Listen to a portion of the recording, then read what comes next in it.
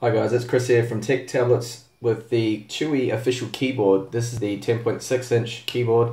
I bought this from Honesty Team on AliExpress. Really fast delivery from China to Europe. Only took 10 days and that's got to be a world record with Post NL.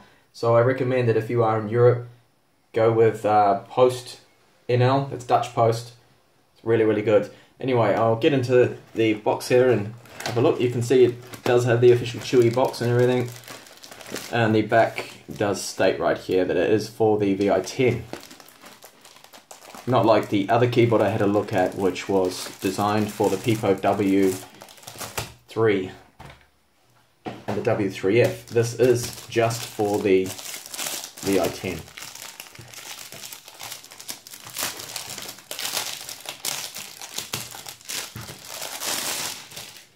Okay, so it's kind of a grey material a darker grey.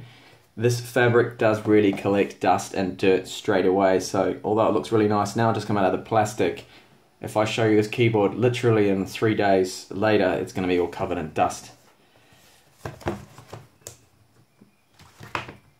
Okay.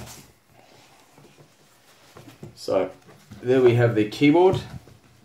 Let's give you a good look there at the layout of the keys. And we have a touchpad here with a left and right. Hardware buttons. So that's good. You have Windows button and I can't seem to see on here a button to disable that trackpad which is always handy to have. Now to show you the Pipo W3 keyboard here.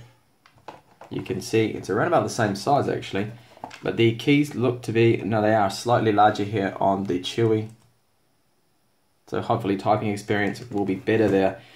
And it does feel quite good just typing on it now. And you see that the sides together, they are slightly wider, although the actual keyboard itself is about the same kind of size. Oddly enough, this is a 10.1 inch keyboard case. Now I'll just put the Chuwi VI10 onto the keyboard here and see how that docks in.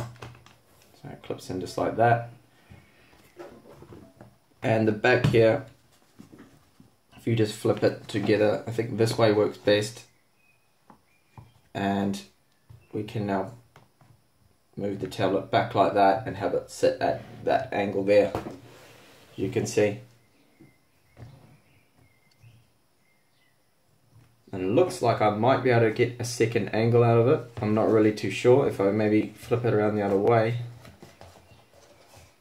going to hold it together. Yes, I can actually. Slightly low angle there, but I don't know if that's too stable.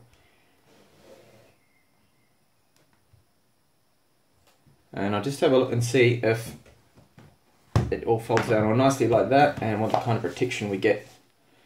So you can see there that it does fold up like that, come one unit all together, which is quite nice. And it does cover the corners reasonably well there. It's not the best protection there, but still seems quite good. And again, just to open it like this, and keyboard down, flick that up, and you're away. I don't really know which way is the best way up here. If I flick it around this way, be a bit more stable. There we go. And pushing on that seems stable enough, it's not going to fall down and go anywhere. So it does have a hall sensor inside here, so when you close the keyboard, it's going to put the tablet into standby there, which is good. And let's have a look now at typing on it. Feels good. It does feel actually a lot better than the Pipo W3 keyboard so far the initial impressions are the quality seems quite good there. It is plastic here, of course, but it's not too bad. I do have a, a link in the description if you're interested in buying this keyboard from the same seller. I do recommend them. So that is the VI10 official keyboard. Thank you for watching. Do subscribe for more up and coming videos of these tablets from China and thank you for watching. Bye for now.